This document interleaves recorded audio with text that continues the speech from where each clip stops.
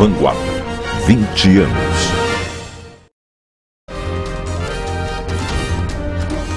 Jornal Vanguarda.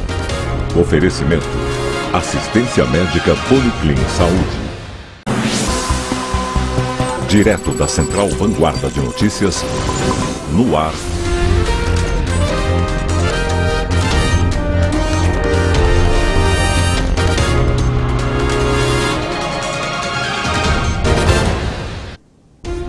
Olá, boa noite para você. Começou o Jornal Vanguarda dessa segunda-feira.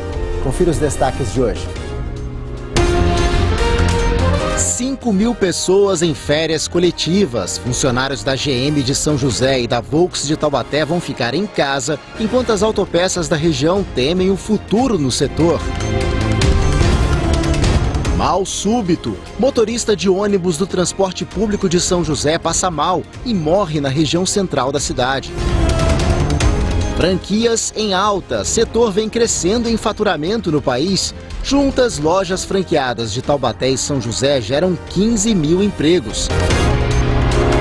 Agora no Jornal Vanguarda. 5 mil funcionários da Volks e da GM entraram hoje em férias coletivas. A paralisação da produção traz insegurança para trabalhadores e também para outras empresas que fazem parte da cadeia de fornecedores dessas montadoras.